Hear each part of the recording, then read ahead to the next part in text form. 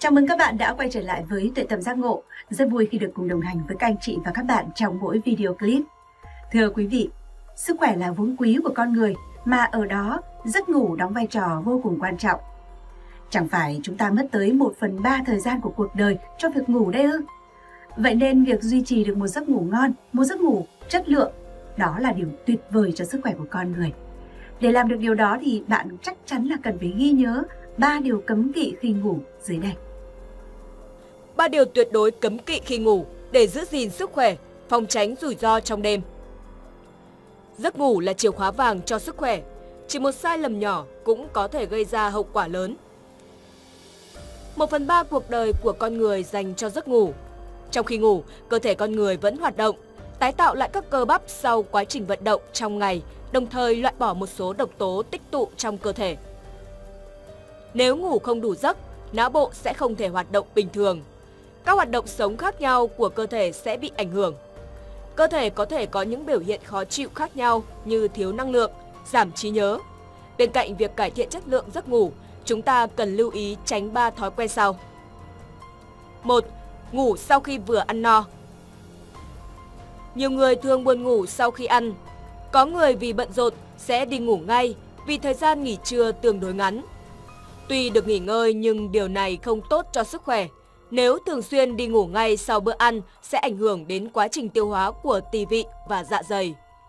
Để lâu có thể gây khó tiêu, thậm chí gây ra các vấn đề nghiêm trọng đến hệ tiêu hóa. Nằm ngửa ngay sau một bữa ăn có thể cảm thấy dễ chịu, nhưng quá trình tiêu hóa cần được thực hiện bởi tư thế thẳng. Theo Mayo Clinic, khi dạ dày chứa đầy thức ăn mà ngay lập tức nằm xuống, axit trong dạ dày sẽ tăng lên trong quá trình tiêu hóa, có thể đi qua thực quản khiến bạn bị trào ngược axit. Triệu chứng phổ biến nhất của trào ngược axit là ợ chua, đau rát ở giữa ngực, sau xương ức. Những vấn đề về tiêu hóa này không chỉ gây khó chịu mà còn có thể khiến bạn không thể ngủ ngon. 2. Ngủ không đúng giấc Một số người có thể thường xuyên bị đảo lộn giấc ngủ vì lý do công việc. Bình thường thì buổi tối là thời gian đi ngủ, còn ban ngày là thời gian thích hợp cho công việc và học tập. Về lâu dài, việc ngủ không đúng giấc, thức quá khuya khiến đồng hồ sinh học của cơ thể bị rối loạn, ảnh hưởng đến nội tiết của cơ thể. Đồng thời có thể gây ra một số vấn đề về sức khỏe. Nếu bạn tiếp tục làm việc mà không ngủ đủ giấc, bạn có thể gặp nhiều vấn đề sức khỏe lâu dài và nghiêm trọng. Một số vấn đề về tiềm ẩn liên quan đến thiếu ngủ mãn tính là huyết áp cao, tiểu đường, đau tim, suy tim hoặc đột quỵ.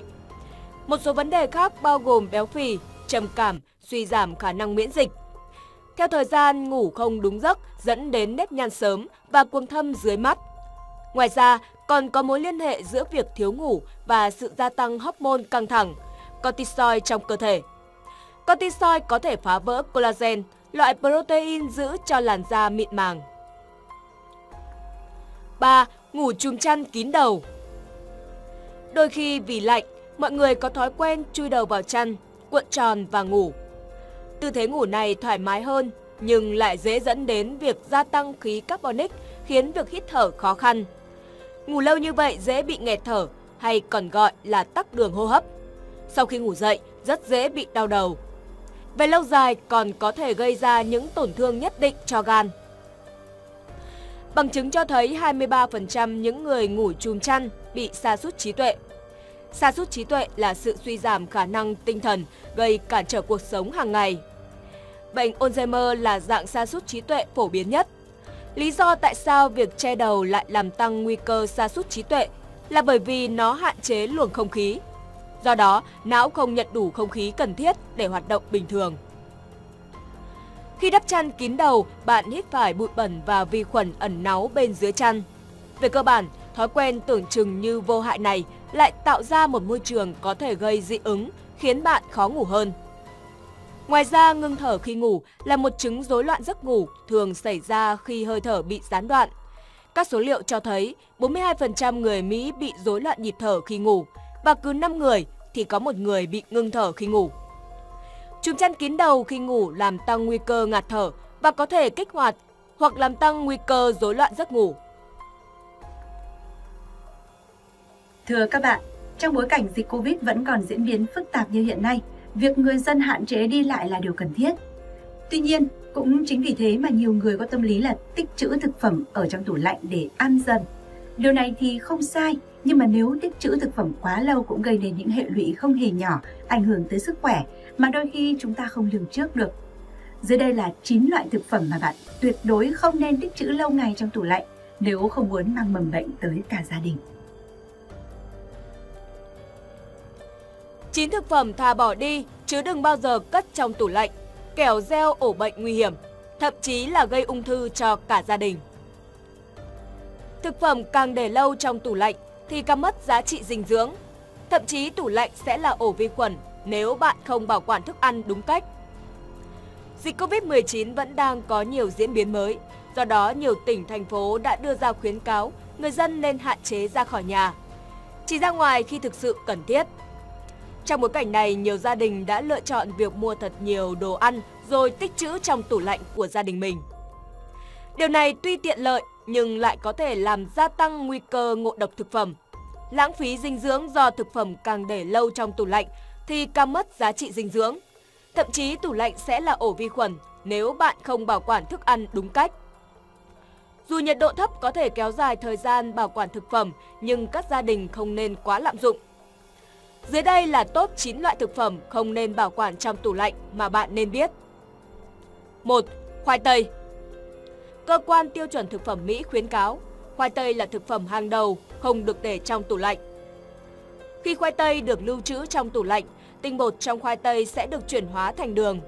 Khi nướng hoặc chiên, các loại đường này sẽ kết hợp với axit amin aspargarin và tạo ra acrylamide hóa học, có thể gây ung thư. Cách làm đúng, bảo quản khoai tây ở nơi khô ráo, thoáng mát. 2. Cà phê Mua cà phê về, bạn đừng bao giờ cất chúng vào trong tủ lạnh, bởi điều này sẽ khiến cà phê bị mất hương vị và thậm chí tích tụ hơi nước, làm hỏng cà phê. Cách tốt nhất để bảo quản hạt cà phê là cất trong hộp kín ở nhiệt độ phòng. 3. Dưa hấu Dưa hấu là loại quả giàu chất chống oxy hóa như vitamin C, zeaxanthin, lycopene và beta-carotene giúp bảo vệ khỏi gốc tự do gây tổn thương tế bào. Rất cần thiết để tăng cường sức đề kháng trong mùa dịch. Tuy nhiên, bạn đừng bao giờ cất dưa hấu trong tủ lạnh vì sẽ làm mất đi giá trị dinh dưỡng ban đầu của loại quả này. Tốt nhất, bạn nên bảo quản dưa hấu ở nhiệt độ phòng. Như vậy, dưa hấu sẽ giữ được trọn vẹn chất chống oxy hóa của chúng. 4. Rau đã nấu chín Đừng bao giờ vì tiếc của mà tích trữ rau luộc, rau xào trong tủ lạnh qua đêm vì vào ngày hôm sau hàm lượng nitrite của rau sẽ vượt quá giới hạn tiêu chuẩn. Đáng nói nitrite chính là một chất đã được WHO công nhận là có khả năng gây ung thư. Lời khuyên cho bạn là nên ăn rau xanh trong vòng 4 giờ sau khi chế biến, nhất là vào mùa hè. 5. Mật ong